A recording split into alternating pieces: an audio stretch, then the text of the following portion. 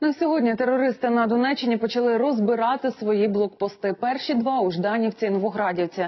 А Донецька облдержадміністрація вирішила організувати у регіоні спільне патрулювання народних дружин і міліції і заборонити продаж алкоголю з вечора до ранку.